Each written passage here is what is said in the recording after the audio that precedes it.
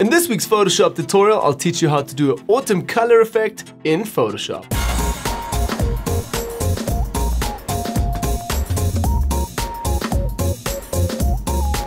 Hey guys and welcome back to a brand new Photoshop tutorial. My name is Manny and you can find me over at retutpro.com, the channel where you get to learn everything about Photoshop and photography in weekly quick tutorials. So in this week's Photoshop episode, I'm going to teach you guys how to do a really cool color effect that suits the autumn season right now. We're gonna work with some selective color adjustment layer, some curves, and some other great stuff. So yeah, let's head right away into the tutorial. Okay, so over in Photoshop, in my right-hand side here in the layers palette, you guys get to see already the finished result. So right away, it says here autumn colors. Let's actually switch this off. So this is our before, and this is the after. So yeah, I'm gonna teach you guys how to do this, and let's get right away into this. I'm just gonna take the start image, move it all the way to the top, so we have a fresh start. So right away I can see that this image is a little bit bright and also lacks a little bit of saturation and a bit of colors. So first of all what I would do is add a bit of colors, meaning a bit of yellows and a bit of reds.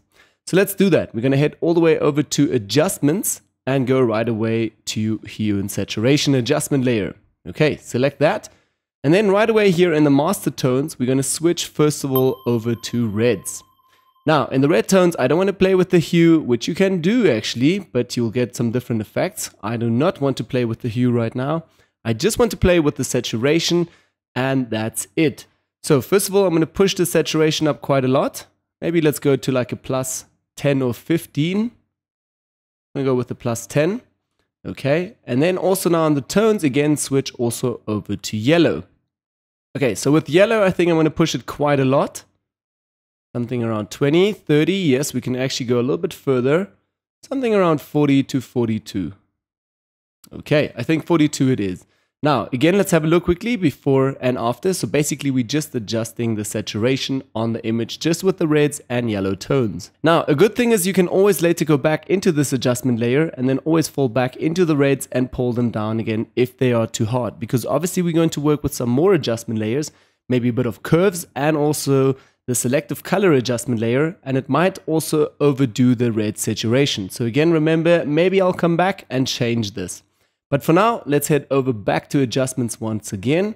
We're gonna go to the curve adjustment layer and now I wanna apply just a subtle uh, contrast curve here.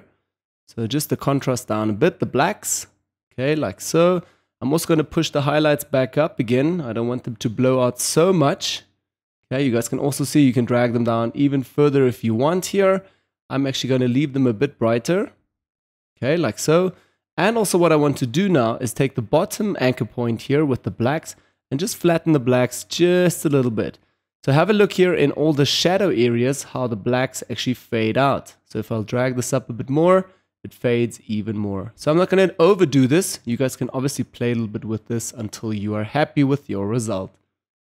Okay, I'm going to leave it over there and let's quickly have a look before and after. So this was just mainly adding the colors and now before and after just with the simple curve adjustment layer. Again, remember, you can always fall back into these adjustment layers and play again with them. Now, I'm going to head back to adjustments and go to selective color adjustment layer. And first of all, I'm going to start out just here with the tones and I'm going to work with the black tones. Normally I start working with the neutral tones, but this way or this time I'm going to work with the black tones first. Okay, so first of all, let's push down the cyan just a little bit so we have a bit more of that orange tone. I'm going to go with something like plus, or actually minus here, minus 10 to 11. And that's obviously a bit different for your image, so play a little bit. I used to take the slider always all the way down to the left side or up to the right side and then slowly bring it back. So something like magentas, I want to add magentas to the shadow parts again. So I'll push it up all the way and then slowly bring it down until I'm happy. Okay, and I'll play a little bit more. I'll just scribble here. Yep, so again, a little bit more down. Think something like a plus 10, 11, that should do. Again, let's have a look quickly before and after, before and after. Okay, maybe it's a little bit too much. I'm going to take them still down to like a plus 9. Then yellows, uh, they are quite strong now because we obviously upped the saturation here. So let's maybe take them down just like a little notch here. Yeah, like a minus 9 or 8. Okay, and now blacks.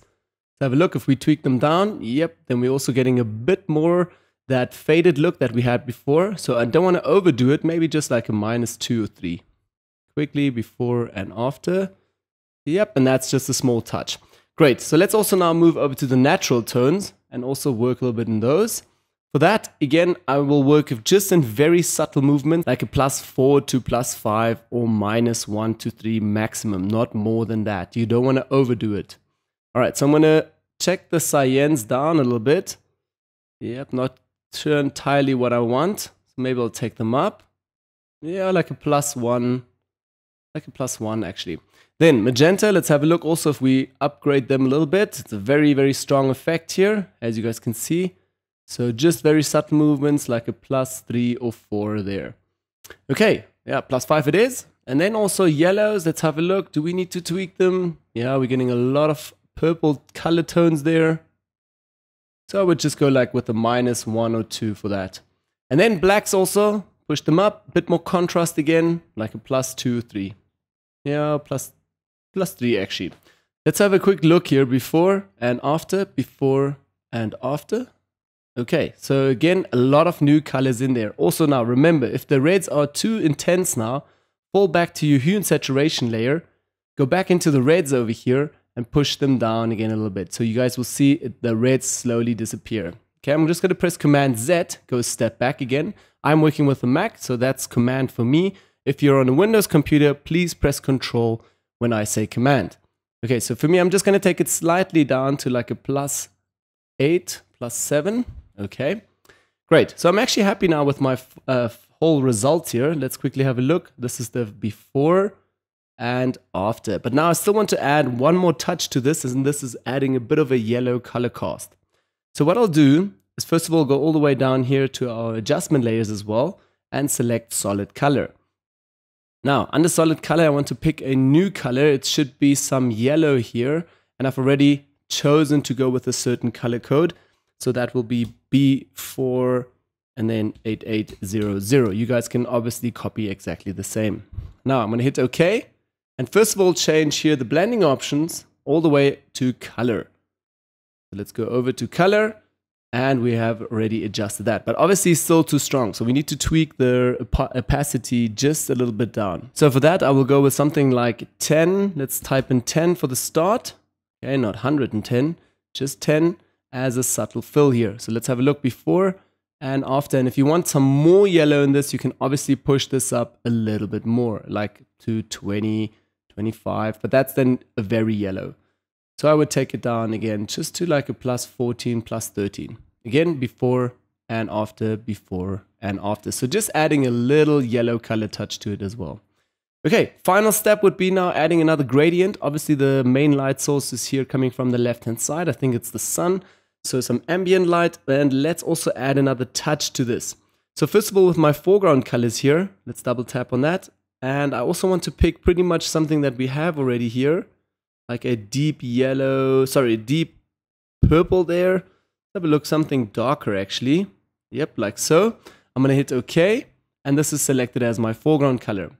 Now I will go back to the adjustment layers here and just select the gradient over here. And first of all, you guys can now see that it is switched here to foreground into transparent. So the second gradient is selected. Okay, so with this, I'm just going to make it slightly from the left-hand side. So it's only coming from this side. So again, my angle here changed to 24, maybe even 30. 30 would also work. And then I'm just going to hit OK. But for the last step is just taking down the opacity again on this.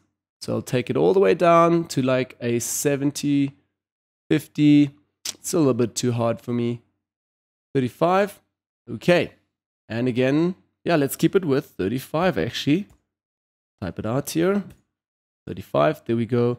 And let's have a look quickly the before and after, before and after. So it doesn't look too great with this gradient. Maybe I would leave it out actually. So I'm not losing the pop here.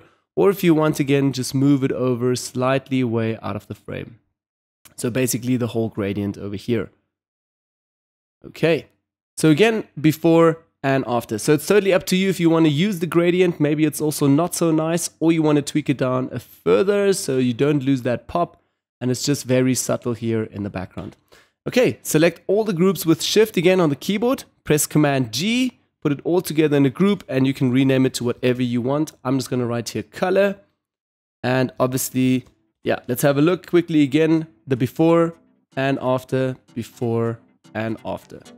Guys, so that is basically it for again creating the color effect here in Photoshop that suits the autumn season. Remember, you can always fall back into your selective color adjustment layer and the hue and saturation in order to go to the master tones with red and yellow and tweak them down a little bit again if you don't want it too saturated. So yeah, if you like me and just can't get enough of Photoshop, click on your screen right now to subscribe. We send out free Photoshop and photography tutorials every single week. And guys, if you want to share something with us or get in touch, leave your feedback down below in the comment section or send us your tutorial request right away to tutorials at RetutPro.com. Thanks again guys for watching. I'll catch you all in the next tutorial. Yeah, and you're still here, so that means you want to see some more videos then you should just check here on the right hand side are some more videos bundled just for you.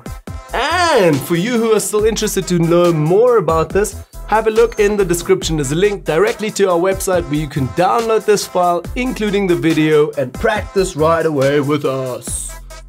Yeah, I wanted to always say that. Anyways, that's it. See you next time.